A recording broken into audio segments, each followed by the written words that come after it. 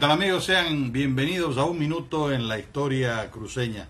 En el programa de hoy vamos a ver un bonito documental que hemos extraído de Crónica del Ministerio de Educación que nos habla sobre las pérdidas territoriales en Bolivia.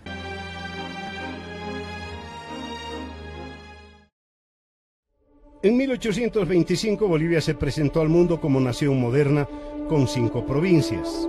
El país nació a la vida republicana con una superficie de 2.363.769 kilómetros cuadrados, que a partir del año 1860 comenzó a sufrir pérdidas territoriales.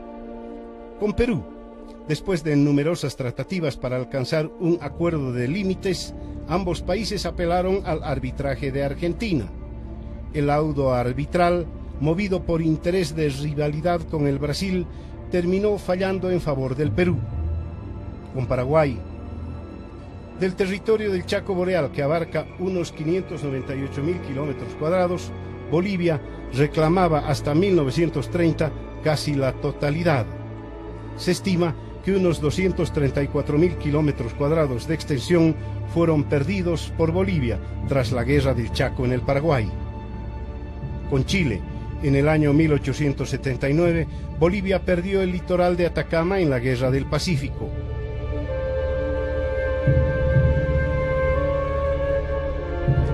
Mucho antes, el presidente boliviano Mariano Melgarejo literalmente obsequió al Brasil más de 100.000 kilómetros cuadrados.